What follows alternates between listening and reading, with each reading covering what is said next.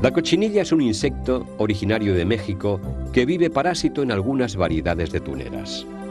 A diferencia de los machos, que son voladores, las hembras no tienen alas, viven pegadas a las pencas del nopal y están recubiertas de un polvo